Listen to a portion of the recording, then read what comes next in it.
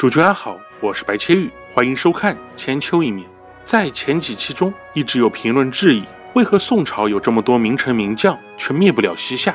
首先，我们要注明一点，人才虽然是每个时代最重要的元素之一，但不管多么出色的人才，他始终要面对整个时代的大背景和历史的大趋势。就拿讨论度最高的三国历史来说，聊诸葛亮。很多人爱盯着他打下了多少版图来说事，却完全不看诸葛亮对中国古代军事理论的卓越贡献。连与诸葛亮交手的司马氏一族都对其深为拜服。而聊起曹魏时期的九品官人法，很多人又全不看当时氏族崛起的历史趋势，却总简单粗暴地去指责曹丕、陈群等人搞阶级固化。持这种观点的人根本意识不到个体在时代大背景下到底有多渺小。事实上，每个时代都不缺优秀的人。缺的更多的是时代的机遇。话题回到宋代，所谓的北宋缺将，南宋缺相这话，本质上也就是句插科打诨的扯皮话。一个国家打了胜仗，不代表他就能灭国；一个国家打了败仗，也不代表他马上就会被灭国。宋朝确实有一个很严重的问题，即将本身国力转化为军事力量的能力非常糟糕。但这不代表宋朝就没有军事力量，而这种军事力量所代表的，不可能只扁平解释成所谓的名将概念。更多的是一种技术层面的问题，导致这个问题的原因也有很多种。譬如说，宋代不义土地兼并的制度，拉垮的马政，皇权在军事决策权上的问题等等。论及不易土地兼并，这导致宋代朝廷直接掌握的土地资源有限，就很难以此激发国中军队的战斗欲望。与之相对，动员成本就会变得非常高。到宋代中叶，国中战斗力强的军队，大部分都是常年与西夏作战的西军将士。而西军中的佼佼者又以边境的弓箭手优先。为何弓箭手最强？因为他们可以分到土地嘛。但是话又说回来，宋代的不易土地兼并也没有网上传的那么邪乎。为何？因为宋代的社会结构不同先代，它没有常年固化的士族阶层，读书人可以靠科举改变人生，阶级流动也相对比较快。宋代的士大夫常常自嘲矬大，大部分就是一群没啥社会根基，靠擅长做题从老百姓奋斗成社会精英的读书人。宋代宰相将近一半都是普通人家出身，如真宗朝的宰相王曾，幼年时家里穷到连衣服都买不起，总不能因为人家奋斗成功，就非要把人和普通老百姓完全对立了。即使如宋初曹氏这样立有开国之功又与皇家通婚的家族，一旦族中缺少人才考上进士，家族便会衰弱。虽然瘦死的骆驼比马大，这些家族即使不显于史书，仍然是远过于寻常人家的。但毕竟没有到足够对抗皇权的怪物级别。即使到了开始出现大家族、社会结构又趋向畸形的南宋，时人如辛弃疾依然在最高楼词云：“千年田换八百主。”晚宋的罗乙在《田蛙歌》中也这么说：“古田千年八百主，如今一年一换家。”诗词固然有所夸张，但也能代表当时土地流转的频繁。所以社会上固然有大地主。但远没有很多营销号所谓的大地主连着三百年一直兼并这么玄幻。而自唐代府兵制崩溃以后，朝廷国防制度的大方向一直在往募兵制的方向发展。唐初不用花大钱募兵，肯定税收少，但中唐以后募兵制成为主流，财政支出增多，自然推动了之后以两税法为代表的一系列税收制度的出现。土地间接税的比重增强，越来越多百姓不再被土地和徭役束缚，拥有了更多的人身自由。再加之工商业的发展，百姓的就业选择变多，长此以往，国家对土地的依赖自然没有前代那么大。到了宋代，户籍制度把居民又分成了拥有田产的主户和没有田产的侨寓者及客户。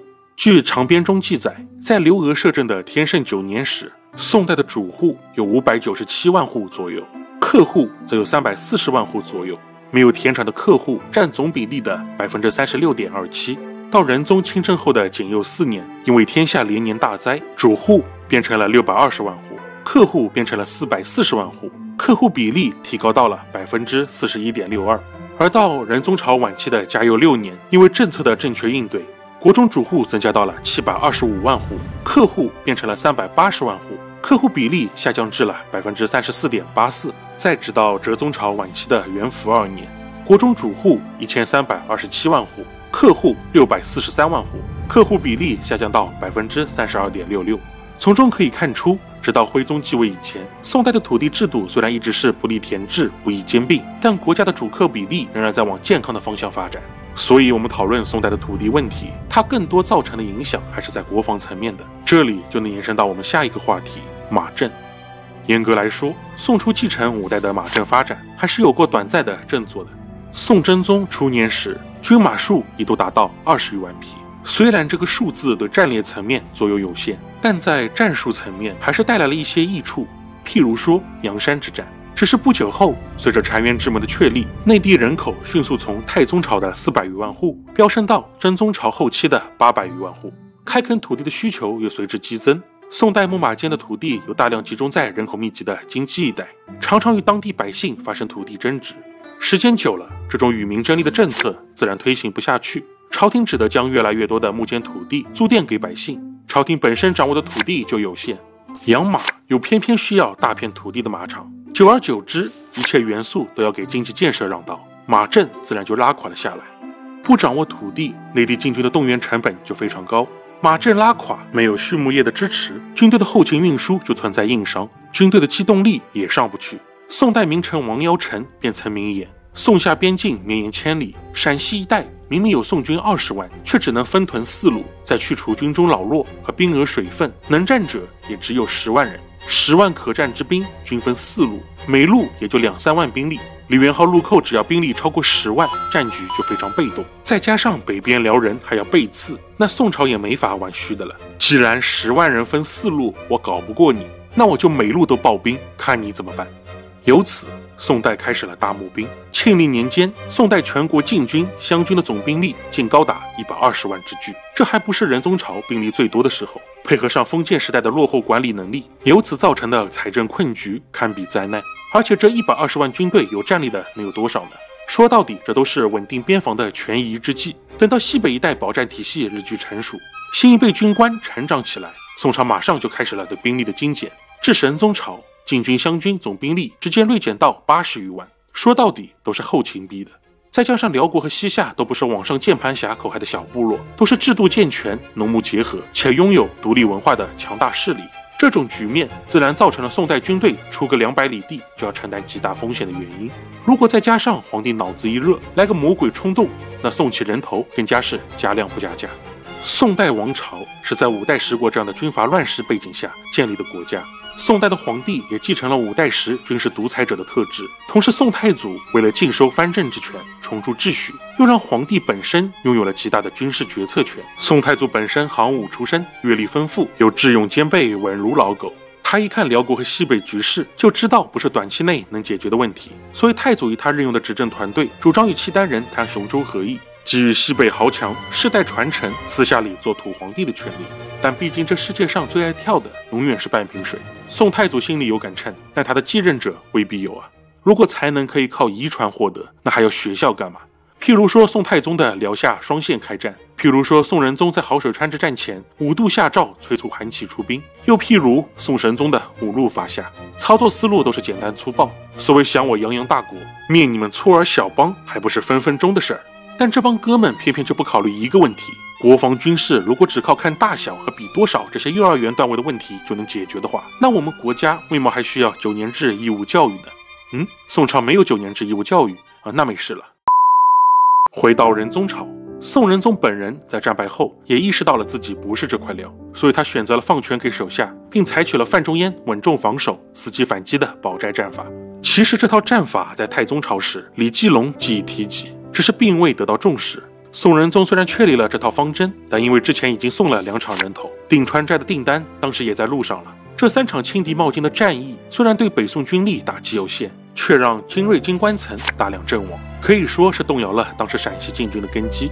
所以范仲淹、韩琦、庞吉、王延这些人去西北，并不单单只是打仗，他们更多的是重铸边境的国防秩序。那最后局面也很明显。李元昊去陕西，虽然赢了三场很漂亮的战役，但也损失惨重，被折腾的在战略上难以东进分毫。去河东，那直接被张抗与河东诸将的人一顿胖揍，看着操作猛如虎，到头来赚的利润连他老爹李德明的一个零头都没有。等回过神来，还发现东边宋朝开战，北边辽国断交，南边古斯罗是死敌，西边沙州回鹘又叛变，国内矛盾重重。李元昊的梦想固然伟大，但伟大的梦想也是要考虑时代趋势的。宋朝这边没有能力短期灭夏，长期军事作业和连年大灾又导致国家财政压力山大。西夏这边风风火火打了一圈，营销做得很好，人人都觉得他能上市了。老总回家一看财报，就差申报破产了。大家都这么尴尬，那还不如回归和平，各自来一杯忘情水，忘记曾经的年少轻狂。但即使是议和，也不是随随便便就能一帆风顺的。庆历三年以后，西夏总共派了五次使者到宋朝求和，一直扯皮到庆历四年年末才算告一段落。第一次议和。李元昊虽然在信中称呼宋仁宗为爸爸，但同时派人表示，人家只是普通议和，才不是要和你们宋朝做朋友呢。称臣去皇帝号这些事，想都不要想。哼，这次议和，庞吉是中间人，颇有种被李元昊耍了的感觉。他只能一边过滤李元昊的蛮横态度，向朝廷转达信息，另一边又力劝西夏态度放软。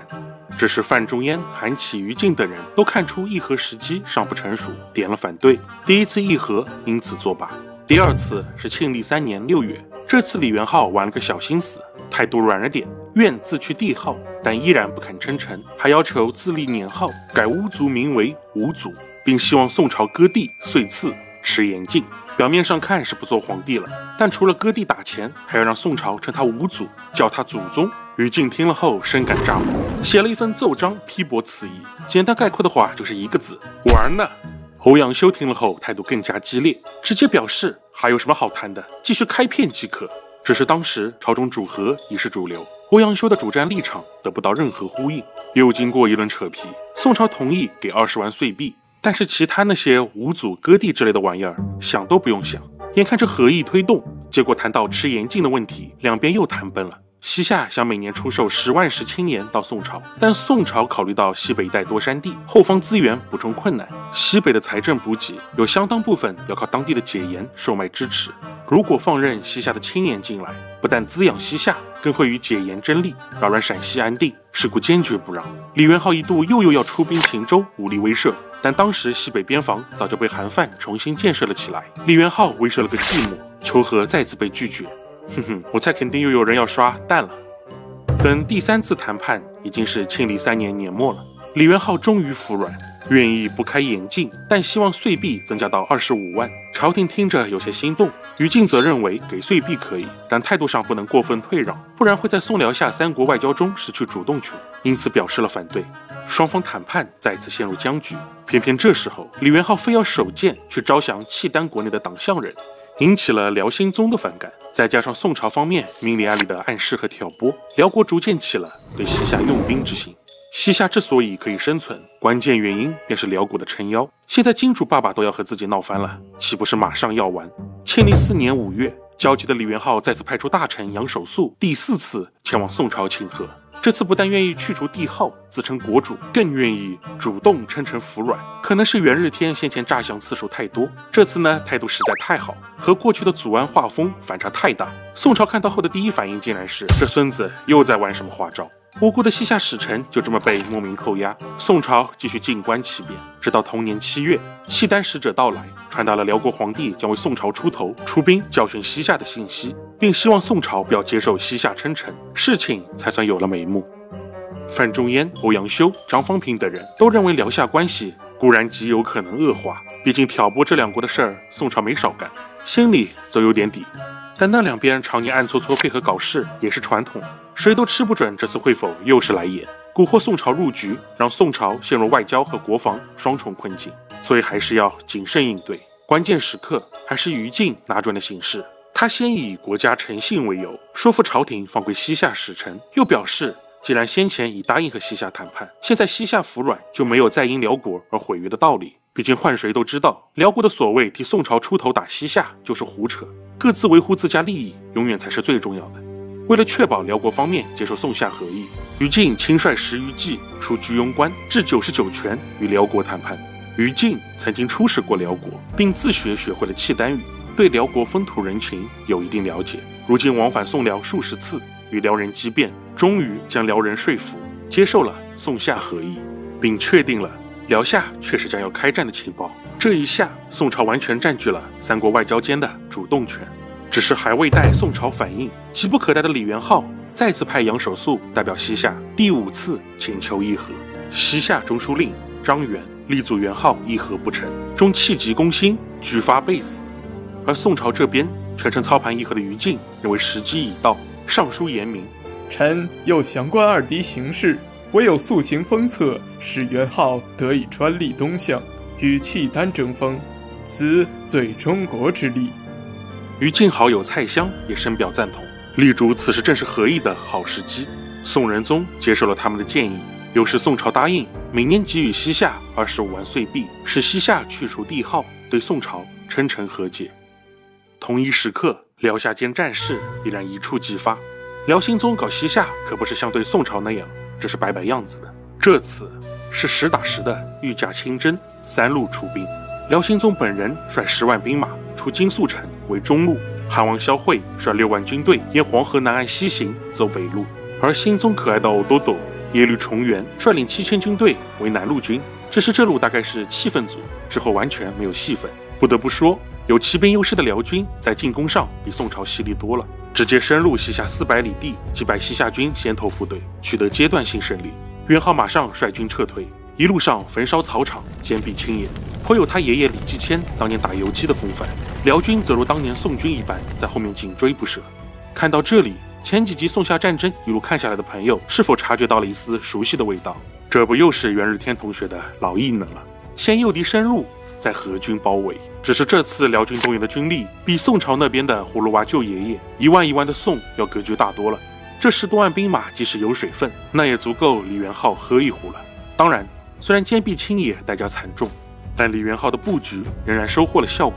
不久后，辽军既因无法打草谷补充后勤而人困马乏，李元昊试探性的求和被韩王萧惠拒绝。恰在此时，辽军突遇极端天气，风沙大作，乱了军阵。元日天看准时机，全军突击。萧惠与新宗所部辽军大败，死伤不可胜计，辽国驸马被俘，新宗只率数十骑仓皇逃出。西夏战胜辽国后，于庆历四年十月。正式接受宋朝册封称臣，和议乃成。只是不久后，李元昊又出了个题目给宋朝，他希望将在河曲之战中抓到的辽国俘虏过渡到宋朝，请求宋朝代为还给辽国，以作示好。此举意在挑拨宋辽关系。这一次又是于禁出面化解了危机。他首先拒绝了西夏希望宋朝转交辽国俘虏的请求，然后表示愿再次使辽调解辽夏矛盾。当然，这所谓的调解也只是做做样子，也就是给各方一个息事宁人的台阶下。经过辽夏战争，辽国国力受损，西夏也无力再战。对于宋朝来说，边境终于重归稳定。作为一切的始作俑者，自立元昊继位以来，宋夏战争打了将近十年，两国数十万百姓才遭战火荼毒，到头来西夏不但没有任何进账，还弄得自己国中贫困，矛盾重重。辽兴宗的对夏用兵虽然失败。但期间，李元昊的坚壁清野策略也再一次沉重打击了西夏本国的经济，后方的沙州回鹘再次崛起，直到李元昊死后数年才重新平定。国中大族野力氏与李元昊之间矛盾重重，这甚至波及到了西夏权位传承的稳定。皇后野力氏为李元昊诞下了三子，长子和三子早死，当时还活着的只有次子宁令哥。李元昊对其十分宠爱，立其为继承人。野力氏强大的资源，自然都站在了宁令哥的身后。只是李元昊不但宠爱儿子，连儿子的心上人莫一世也十分宠爱。这莫一世原本是李元昊为儿子讨的媳妇，结果他自己一看很顺眼，就帮对方升了个级，从儿子的女朋友变成了儿子的小妈。元昊对儿子前女友很宠爱，为其大肆行修宫殿。要知道，野力氏嫁给元昊二十年，都只是住旧的皇宫。现在莫一世受得恩宠，待遇吊打野力皇后，简直离谱。这宁令哥媳妇被抢，已经是极大的侮辱。现在连野力皇后的待遇也被比下去了。野力家族中自然少不了怨声载道，这些怨言被人添油加醋，传到了李元昊耳朵里，直接升级成了野力氏想要谋反的版本。李元昊听闻大怒，直接下令将野力氏家族全族捕杀。军功彪炳的野力兄弟，很可能就是在这次政治动乱中遇害的。野力皇后与李元昊多年夫妻情深，倒是幸免于难。他劝说李元昊网开一面，引起了李元昊的回忆。元昊派人遍寻野律家遗孤，只找到了隐匿于寺庙中出家的野律玉起之妻莫藏氏。看到莫藏氏的美貌后，元日天深自感叹：“对不起，好兄弟野律玉起。”于是他决定睡了莫藏氏，以缅怀故人。不久后，莫藏氏诞下一子，取名亮诈。但因为李元昊没有给莫藏氏名分，孩子只能交由莫藏氏之兄莫藏阿旁收养。莫藏阿旁更从此得到重用，登上相位。耶律皇后没想到替族人求情，竟求来一顶绿帽子，又是深恨莫藏氏。但毕竟他对族人遗孀心存怜悯，没有再下杀手。然而他对莫藏氏的怨恨依然引起了李元昊的反感，不久即被幽禁冷宫。家族伦理乱成这样，子女想不爆炸也比较困难。莫藏阿旁为了让李亮炸继位，又适时出手，言语挑拨宁令哥。宁令哥血气上涌，便持剑入宫刺杀亲爹。元昊闪避不及，被削去鼻子。而宁令哥见杀元昊不成，慌张逃窜。不久后被莫藏阿旁捕杀，其母也立氏一同被刺死。李元昊身受重创，不久后伤口溃烂成疮，命不久矣。临终前，他意识到自己一生征战，到头来就是白忙活一场，心中彷徨。曾经豪情万丈、自命日天的李元昊，竟然给后代留下了这样的遗言：“一日力弱势衰，以负宗国，不可专宠契丹。盖契丹残虐，中国仁慈。”顺中国，则子孙安宁；又得岁次官爵。为契丹所挟，则无国为矣。当年李继迁一生对抗宋朝，临终时却告诫李德明一定要对宋称臣，求得太平。李德明比较幸运，他遇到了心善的宋真宗。如今李元昊也和他爷爷一样，在临终时推翻了自己一生的执念，只希望后代子孙能做个顺臣。以在宋辽博弈中求得生存，只是他曾经的作为早已断送了宋夏间完全重归于好的可能。仁宗一朝虽在未对西夏开启大规模战事，但西北边防与国中军备仍然持续发展。待到神宗、哲宗时，才是宋夏战争真正进入白热化的阶段。元昊死时，原本一命从弟维哥宁宁继位，却被控制朝政的莫藏阿旁擅改一命，拥立刚满周岁的李亮乍上位。幼主继位，那就是明摆着国政不稳。辽兴宗自从败于李元昊，一直憋着一口气。如今得闻旗下国内发生巨变，便想抓住时机，再出三路大军攻打西夏，为上次战败找回场子。结果兴宗一路没有遇上西夏军，无功而返。而先锋萧慧则因轻敌冒进，疏于防备，而再次被西夏军打得大败，损失惨重。兴宗一度怒极，想要杀了萧慧，但念及萧慧之子也战死于军中，才勉强作罢。倒是耶律迪卢古统帅的祖古军顺利进军至贺兰山下，击破西夏三千守军，擒获李元昊家属及官僚亲眷。莫一世即在此时为辽国所俘。过了一年，辽国再次对西夏用兵，其实西夏国力衰微，莫藏阿旁权力不稳，西夏军只得坚壁清野，退守城中。辽国一度兵为兴庆府，大略而还。其后西夏全力修复与辽国的关系，从大辽重熙十九年一直谈到重熙二十三年，才请降成功，重归于好。经过三次战争，辽兴宗也一改在位前期的傲气凌人。几次出战失利的损失，让他意识到战争对国家治理的剧烈影响。为了缓和由此引发的国中矛盾，他立弟弟耶律重元为皇太帝，以作拉拢，同时又暗中扶持儿子耶律洪基的势力，以作抗衡。这就为未来的《天龙八部》提供了历史素材。在为后期的辽兴宗愈发重视与宋朝关系的修复，诗在兴宗常以所画额燕，宋诸宋朝，点缀精妙，宛乎逼真。用名言表示今两朝势同一家，而宋仁宗一回赐亲自书写的飞白书，南北两朝永通和好，恢复辽兴宗。